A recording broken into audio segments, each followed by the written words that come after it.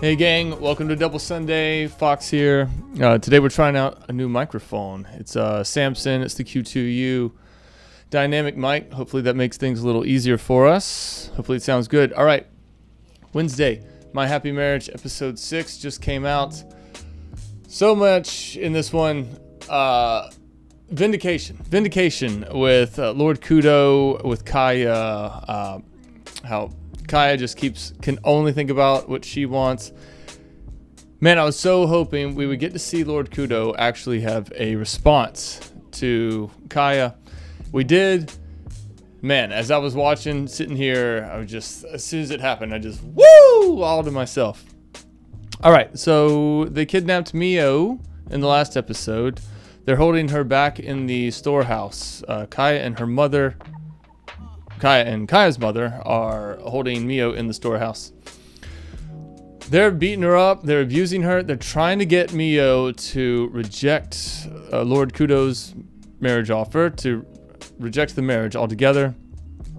Still, because in Kaya's mind, it's just up to her. Like as as soon as Mio steps out of the way, she can just have Lord Kudo again. No thought of his side of things. Would he actually accept me? Would he want me? And they addressed it in this episode, and it felt so good to see that addressed. Um, Lord Kudo makes his way to the Saimori estate with Koji. Uh, and right off the bat, Lord Kudo, he's not messing around. He uses his gift uh, with a lightning, a huge lightning strike. He just smashes the front gate of the Saimori residence. They make their way in. Mio's dad and uh, Tatsuishi, Koji's dad, they both try to stand in the way of Lord Kudo finding Mio.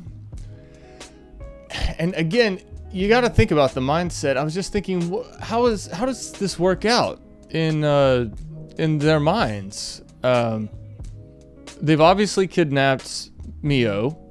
They're obviously responsible for it. Even if Mio did come back and say, okay, Lord Kudo, I'm rejecting your offer. It's obvious why she's saying that. It's obvious they kidnapped her, they pressured her to reject the marriage. So it, there's no way he would even take it seriously, even if she did come out and say that. It's totally obvious why she would be saying that. Obviously, she was pressured to do that. So, anyway, uh, Tatsuishi and Saimori they're trying to stand in the way of Lord Kudo, and he just takes their attacks and flicks them away, and then smashes them both with some more lightning. Um, actually, whenever he uh, deflects this big flame attack from uh, Tatsuishi, the fire actually goes and encompasses Saimori's house, the trees, everything around it. So their own evil deeds, of course, are now uh, causing repercussions uh, for themselves. Saimori's home is now in flames uh, because of these bad actions that his wife and daughter have taken, and his friend Tatsuishi. So Lord Kudo makes his way to the storehouse. Uh, Mio has been holding out this whole time. She says, "I will not reject the marriage." Uh, she she finally decides, you know what? I've lived this life of suffering, and now I finally found this tiny bit of happiness. Lord Kudo says he wants me to be with him. I want to be with him as well, and uh, I'm not going to give this up. I finally have a sliver of happiness. I finally have uh, a doorway opening to happiness in my life. I don't want to give that up. And good on her. So she says, I will not. It's of course it's making Kaya and uh, Kaya's mom just angrier and angrier. They're smacking her around cutting her new kimono. But Mio just won't do it. And finally, Lord Kudo does show up at the storehouse. He rescues Mio. And Kaya still, even at this point, uh, it's, you know, he's asking, which I thought he was going to smack her with some lightning too or something. Uh, because, uh, you know, at this point, your blood's just boiling watching Kaya smack around Mio after all the emotional abuse they've already put her through. Now they're giving her physical abuse and trying to take away her happiness after she was already off and going away from the family. Now they're trying to pull her back and take everything away from her. So Lord Kudo comes in, uh, saves Mio, and Kaya still, she says, "Oh, I was just trying to correct a mistake." And it's your blood just boils and boils and boils. But finally, Lord Kudo looks at her and he says, uh, "I would never choose to be with a with a brat like you. Choose to be with someone as arrogant as you." Finally, we hear it from his side. I would never choose you. And my gosh, did that feel so good when that happened? I was like, yes, finally, we're seeing someone from the other side again because like we talked about last time kaya couldn't even conceive of what the other person might want. It doesn't matter. All that matters is what she wants.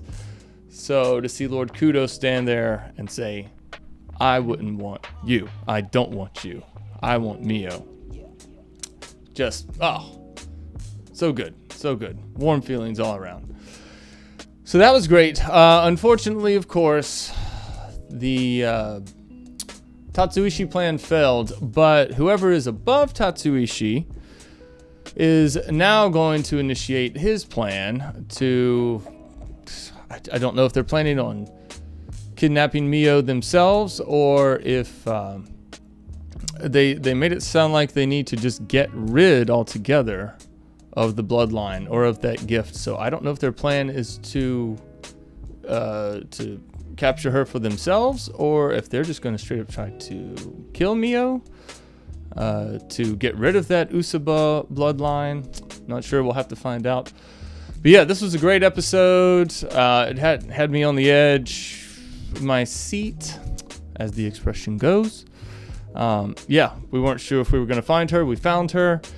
Not only that, we got to see Lord Kudo say, I reject you to Kaya warm fuzzy feelings right when that happened. And watching him uh, call down the lightning and just destroy tatsuishi and saimori uh, whenever they were trying to stand in the way of him rescuing mio. That was fantastic.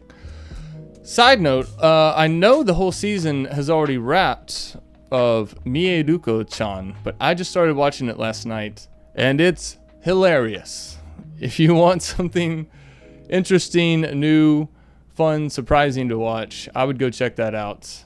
It's not what I expected. It had me laughing a lot harder at some moments than I was expecting to laugh at all. I wasn't expecting to laugh at all since it's having to do with ghosts and things like that. But it's very interesting uh, the way it's written. It's actually really hilarious. All right, that's what we're going to talk about today. Hope you have a great day. Thanks for sticking with me this far, if you have and see you in the next video. Bye bye.